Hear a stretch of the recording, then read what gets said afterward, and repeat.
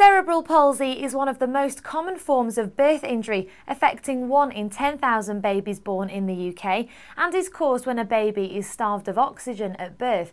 The condition can cause brain damage to varying degrees and can also lead to other mental and physical disabilities later on in life.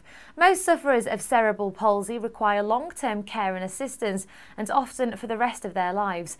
The families of the cerebral palsy sufferer are simply not always in a position to provide this care alone. They simply don't have the time, money or ability to do so.